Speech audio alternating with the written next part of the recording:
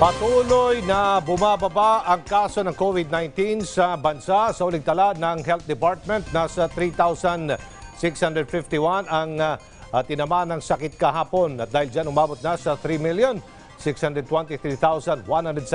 ang nahawaan ng sakit mula na magsimula ang pandemya. Bumaba na rin sa 96,326 ang active cases kung saan 87,385 ang mild, 4,150 asymptomatic, 1,447 ang severe at 315 ang critical. 12,834 naman ang nakarecover. Yan nasa 3,472,160 na ang mga gumaling.